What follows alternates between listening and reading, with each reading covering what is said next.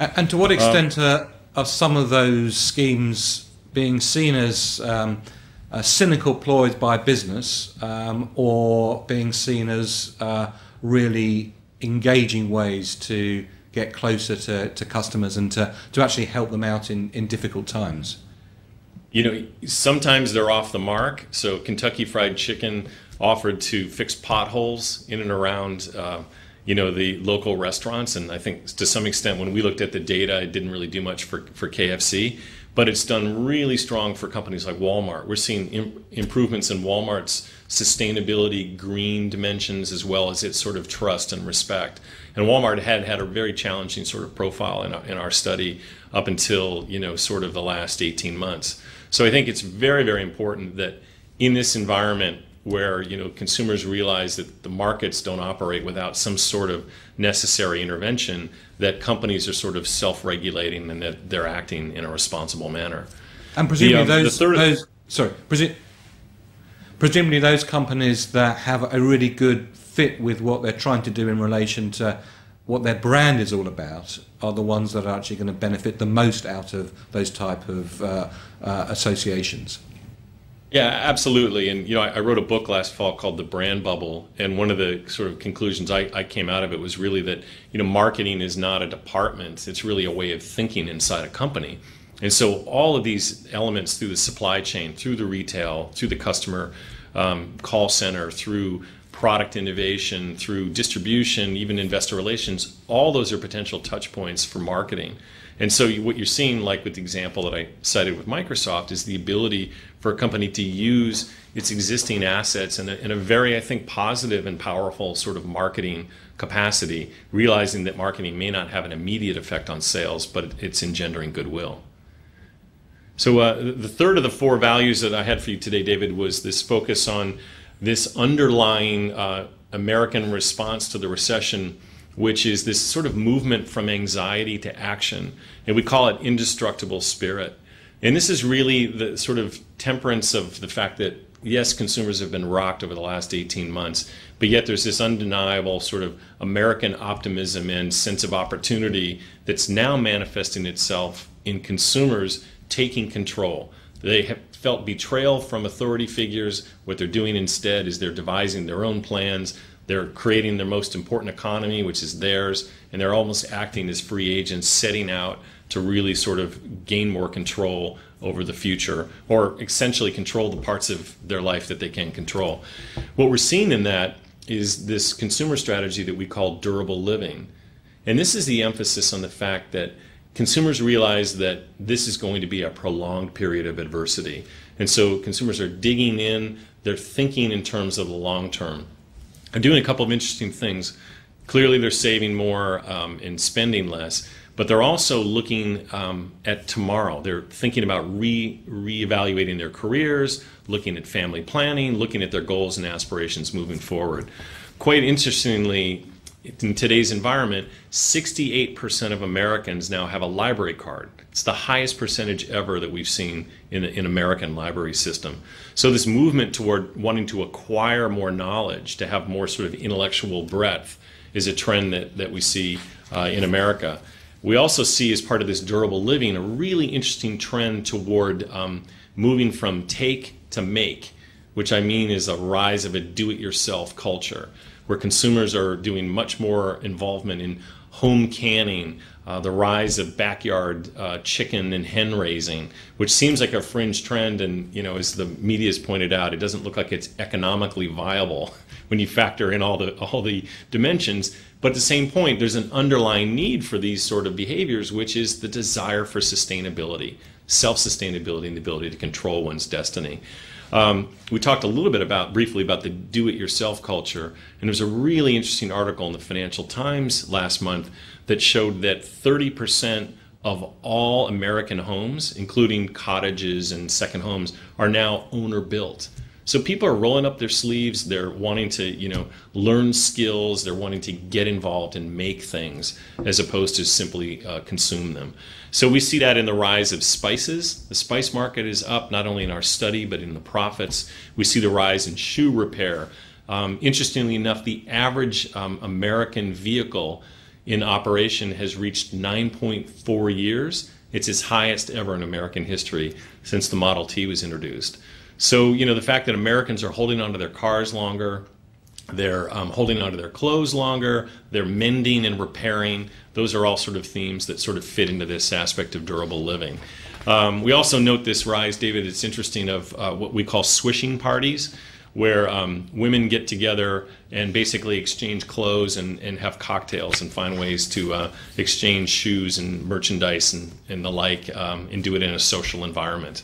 Great. well, um, John, John, when I when I get home, I'm going to introduce that concept to my wife. I think that's a great idea. good luck. Yeah, good luck indeed.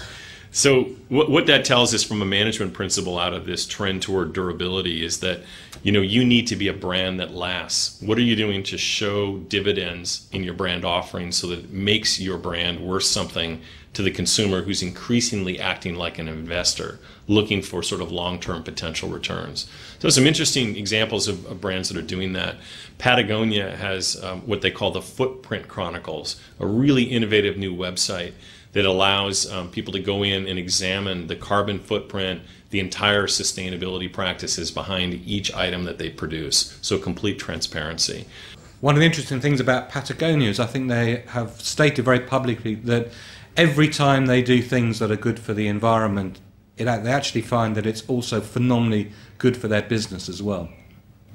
Absolutely. It's good for me, good for you, good for the environment, and, and, everybody wins. And that's part of this sort of longer term view that kind of comes out of this idea of being a company that lasts, having seen farther and, and realizing that it's not just about today.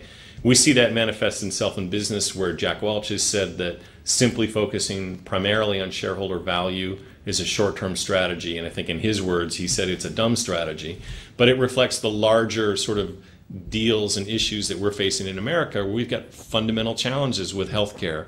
We've got really big problems that we need to own up to and, and face, and it's going to take considerable time in order to do that. So, you know, really interesting companies are stepping in, looking at the long term. Fidelity, for example, has 529 rewards program. 529 in the United States is a college education savings program that households can can take on what they're doing is instead of instant credits, rewards back for your card purchases, what you're doing is you're investing in your child's education. So, so these sort of trends toward encouraging the consumer to look out over the horizons, to invest, and to think beyond sort of today's consumption is definitely a rising trend. Um, and then, lastly, you know, the last sort of trend I was going to speak about is this this um, big, big focus on community. We call it return to the fold. But in today's environment, there's an increasing value on neighbors, on local communities, and on your networks. And what how I define local means that your network may be based in Facebook and Twitter, where you've got a tremendous network all over the world, but it's retrenching around networks that you can really trust. And that is really important because that forms the basis of how consumers interact with brands, the types of decisions that, that they make in the marketplace, and the peers that they use. So, you know, a couple of examples that we see are the rise of Zipcar. You know, Zipcar went from a fringe idea to an idea that became very, very much, you know, part of the American fabric. The idea so of, zip, you know, zip, not zip Zipcar is the concept of sharing, basically. Correct. So, you know, you don't own the car; you basically rent it and grab it, take it, and go. And they have an impending, if not, if it hasn't already been done, an impending IPO that looks really lucrative. Um, there's this other trend toward local currencies. Um, you know, in one case, you know, local towns are setting up their own forms of currency around people that they can trust. Now, in part, this isn't due to the fact that people can't get loans, but doing more things on a local movement. And this is part of a huge trend, the artisanal trend, where products and brands that have local sort of storytelling, local origins are more desirable and are, and are building sort of greater currency in today's environment. We also see that with the rise of what we call carrot mobs. I don't call them carrot mobs, but they're known as carrot mobs, which is this movement toward consumers banding together to get a business to incentivize them to do the right thing rather than boycott them. So, as you would expect, these have originated in California. But um, carrot mobs basically organize to aggregate the consumer's business to get another business to basically do the right thing, whether it's social responsibility, fairness in labor practices, et cetera.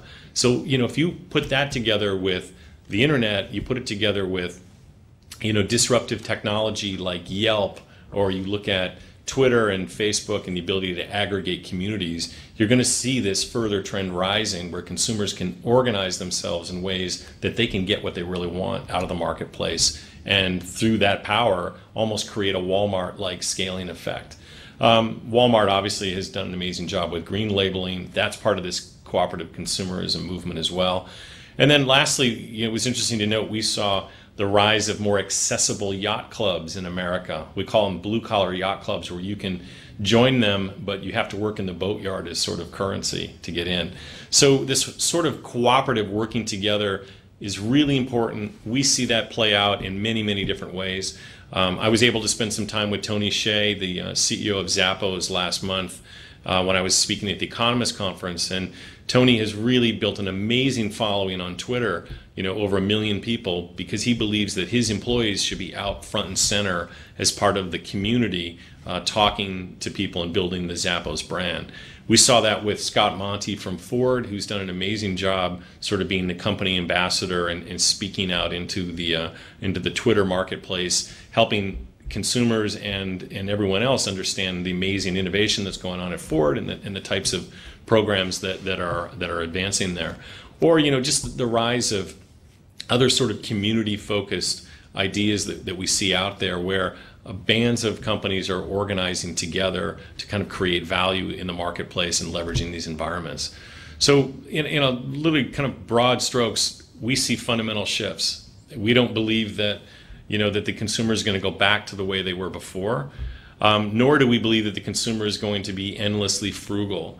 Um, I'm really advocating that there's going to be something, you know, in between that's going to be really great for brands and really great for business. What it means is that businesses will need to be more ethical, more sustainable, more innovative, and they're going to have to compete more effectively for scarcer uh, amount of the consumer's dollars.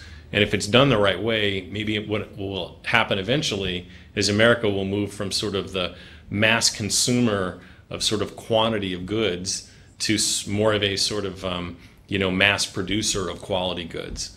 That is a tall order, and that remains to be seen. Well, America, in a sense, has always bailed out the rest of the world as being the spender of last resort. Um, and I think it's intriguing to see how some of the trends that you've spoken about uh, today um, will potentially reshape America's role um, in uh, defining how consumers uh, change and are willing to change uh, around the world. Uh, John, thank you very much indeed for uh, spending the time and sharing your insights uh, with us. John's book um, is available um, at all good bookstores, both bricks and mortar stores and also um, digital stores as well. Um, and to n- understand more about Y&R um, you can find out more about them through the website that's on the screen at the moment. So, from me in London, I'd like, like to thank very much John uh, in New York. Uh, thank you very much indeed. David, thank you.